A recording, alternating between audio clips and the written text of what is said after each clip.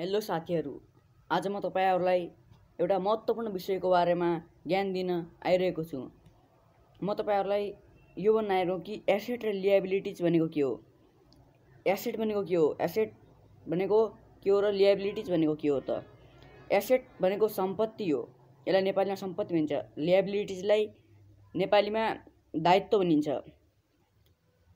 हामीलाई एसेट महत्त्वपूर्ण छ कि लिएबिलिटिज हामीलाई महत्त्वपूर्ण एसेट छ। किनभने एसेट भनेको यस्तो चिज हो यदि एसेट भनेको यस्तो चिज हो जसबाट हाम्रो खल्तीमा पैसा आउँछ। तर लिएबिलिटिज भनेको यस्तो चिज हो जसबाट हाम्रो खल्तीमा भएको पैसा बाहिर जान्छ। जस्तै लिएबिलिटिजमा यदि हामीले एउटा कार किन्यौँ कार किन्यो भने यदि हाम्रो कारबाट के फाइदा हुन्छ? कार किन्यो भनेपछि पेट्रोलको खर्च लाग्छ ट्याक्स खर्च लाग्छ यसबाट हाम्रो खल्तीबाट गएको पैसा जान्छ।